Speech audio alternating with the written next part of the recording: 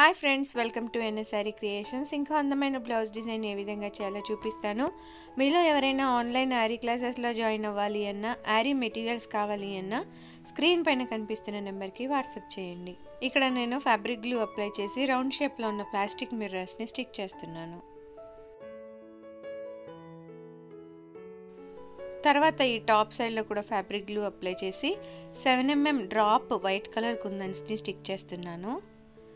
మనం fabric glue apply చేసాము అని అంటే ఒక ఫిఫ్టీన్ మినిట్స్ డ్రై అయిన తర్వాత వర్క్ అనేది స్టార్ట్ చేసుకోవాలి. ఫుల్ బ్లౌజ్ వర్క్ అయిపోయిన తర్వాత బ్యాక్ సైడ్ ఐరన్ చేసుకుంటే చాలా కాలం వరకు ఊడిపోకుండా ఉంటాయి.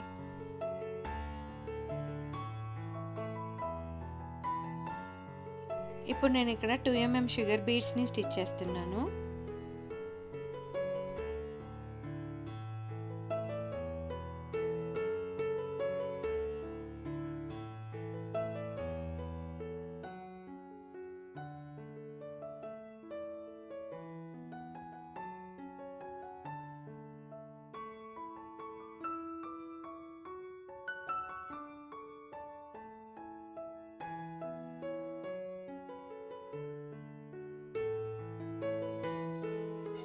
తర్వాత normal mirror work silk thread use చేసి మిర్రర్ని వర్క్ చేస్తున్నాను.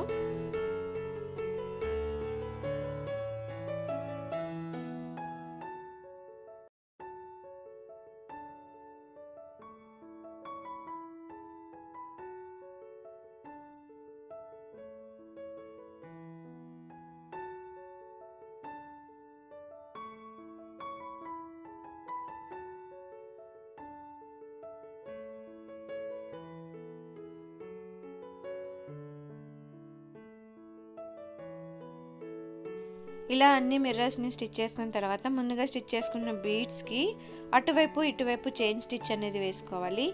ఈ లోపల సైడ్ అంటే మిర్రర్స్ ఉన్న సైడ్ నేను టూ టైమ్స్ చైన్ స్టిచ్ వేస్తున్నాను. అటు కుందన్స్ ఉన్న సైడ్ ఏమో వన్ టైం చైన్ స్టిచ్ వేసి తర్వాత కుందన్స్ చుట్టూ కూడా మనం చైన్ స్టిచ్ అనేది వేసేసుకోవాలి.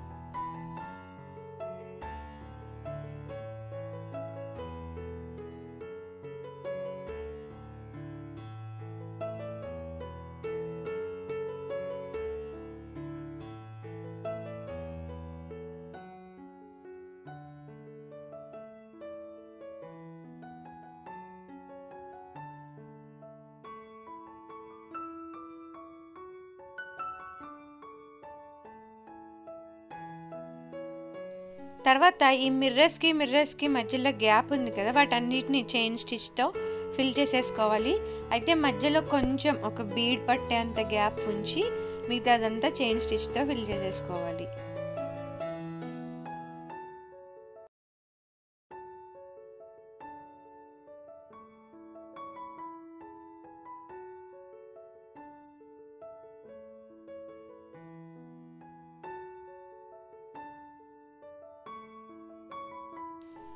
బార్డర్లో నేను జెరీ థ్రెడ్ యూస్ చేసి వన్ లైన్ చైన్ స్టిచ్ వేస్తున్నాను.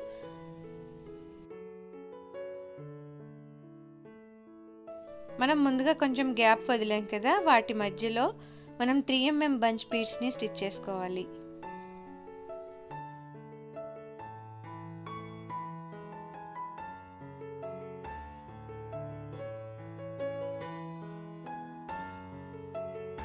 మీరు సేమ్ ప్యాటర్న్ ఫాలో అయిపోతూ నెక్ చుట్టూ స్టిచ్ చేసేసుకున్నారనుకోండి చాలా హెవీ లుక్ ఉండే మిర్రర్ వర్క్ బ్లౌజ్ డిజైన్ ఫైనల్గా ఈ విధంగా రెడీ అయిపోతుంది. మీకు ఈ వీడియో నచ్చితే లైక్ చేయండి షేర్ చేయండి. ఐరన్ మెటీరియల్స్ కావాలి అన్నా ఆన్లైన్ క్లాసెస్ జాయిన్ అవ్వాలి అన్నా స్క్రీన్ పైన కనిపిస్తున్న నెంబర్కి వాట్సాప్ చేయండి. ఛానల్ని సబ్స్క్రైబ్ చేసుకోండి. బెల్ సింబల్ తప్పకుండా క్లిక్ చేయండి. Thank you friends.